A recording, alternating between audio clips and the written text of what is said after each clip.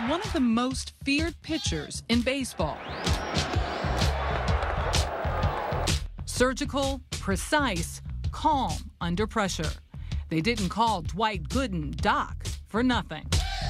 3 2 pitch is swung on and missed. So I can call you Doc. Yes, Doc is fine. Doc is fine. You still use Doc? I still use Doc.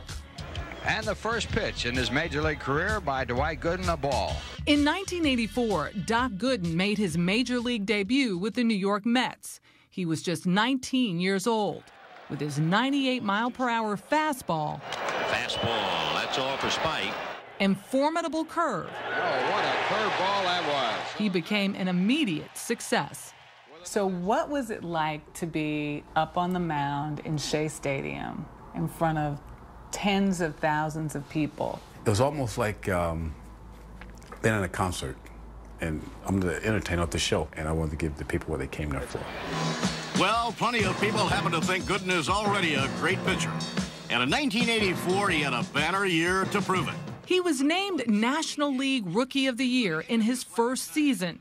He won the Cy Young Award given to the best pitcher in baseball in his second and became the youngest starting pitcher ever in the All Star game.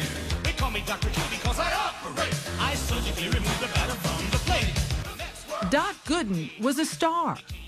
But while he was in perfect control on the field, it was a different story off the mound. I mean, being so young, so talented, finding fame and fortune and success so quickly, what was the most difficult for you to deal with? I think the success came very fast and not being able to say no. Especially to cocaine.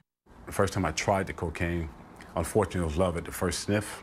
My problem always been not just when things are bad, I turn to drugs and alcohol, but when things are good, I turn to drugs and alcohol. Things were very good for Gooden and the Mets when they won the World Series in 1986. It's like the ultimate dream for any player, the highlight of my career, where you should be the happiest day of my life.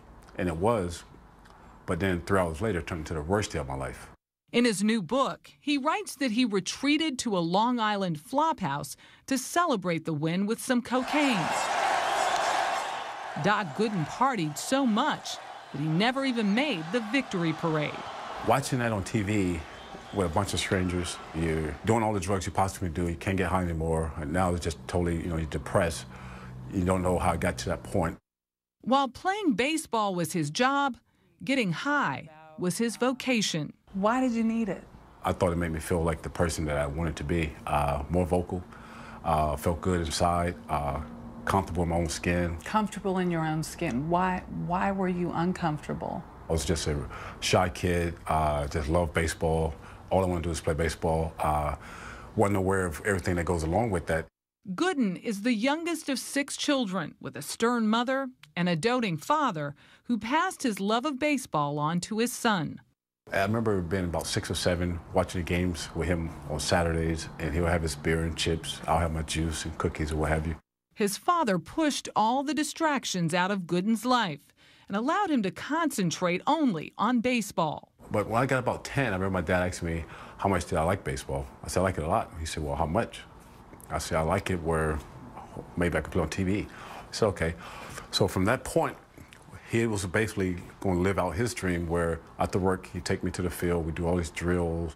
But his father almost missed the crowning achievement of Doc's career.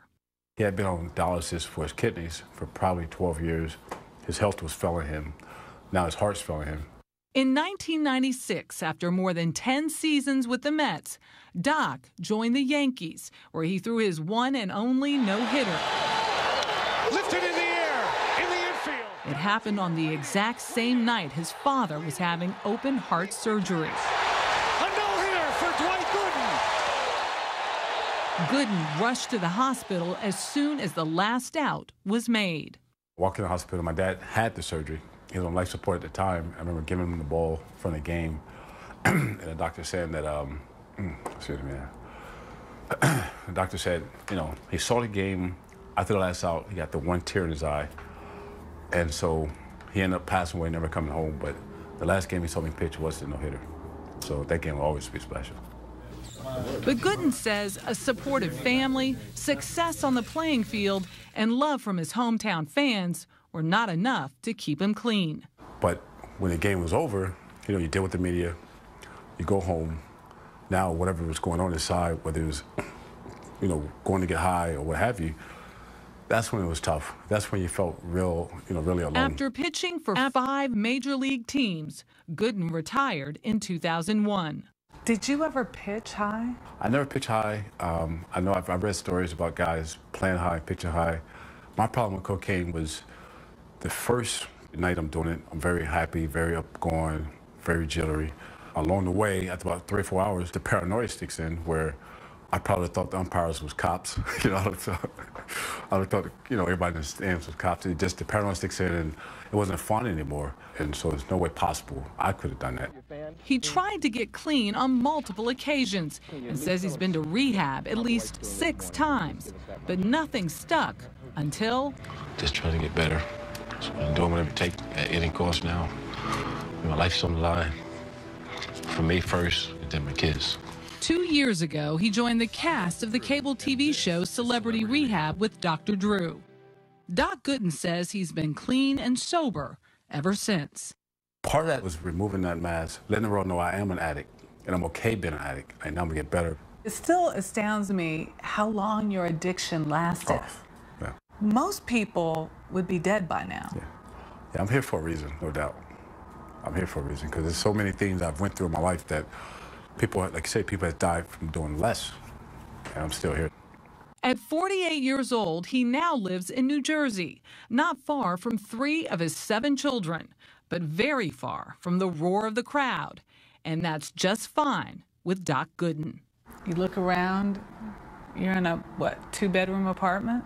I have more peace here than I had when I had the, you know, 12 bedroom house at one time. This is a far cry from a 12 bedroom house, but you have what you want. I have what I want now within myself, and, you know, just I feel good about who I am. Uh, and unfortunately, all the ups and downs I went through has molded me into the man that I am today. And I'm very happy for that.